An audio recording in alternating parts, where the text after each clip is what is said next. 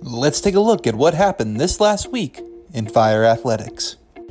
The Southeastern University women's golf team tied for third at the World Golf Invitational, hosted by Flagler at the Slammer and Squire course Monday through Tuesday.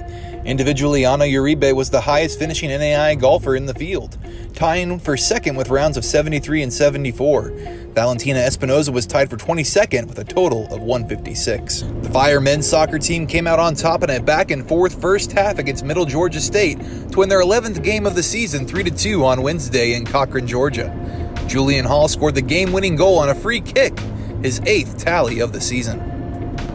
The SEU softball team was swept in a doubleheader versus Cumberlands on Thursday before splitting a doubleheader versus number 11 Campbellsville on Friday.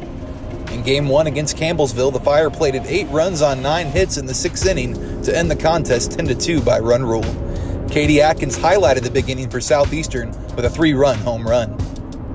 In their second matchup of the season, the number 11 SEU women's basketball team defeated Webber International 82 43 in Babson Park Thursday night. Gabrielle Ozud had a game high of 26 points and 16 rebounds, with seven of those rebounds being on the offensive end. For her efforts, Ozud was named Sun Conference Player of the Week for the third time this year. The Fire men's basketball team snapped their Sun Conference skid with a thrilling 64 63 win on the road versus Webber International on Thursday night. Riley Maddox and Devin Ford led the way in scoring for SEU, totaling a team leading 18 points each. The number one SEU baseball team swept their Sun Conference opening series at home versus Thomas three games to none on Thursday and Friday. Junior infielder Sam Faith earned his second TSC Player of the Week nod after hitting 818 at the plate with four home runs over three games, including three homers in the series finale. Senior righty Drew Gillespie was named TSC Pitcher of the Week after tossing eight innings of one hit baseball, striking out eight Nighthawks. The Fire men's and women's track and field teams had another impressive weekend, posting top results at the Sanford Invitational on Saturday.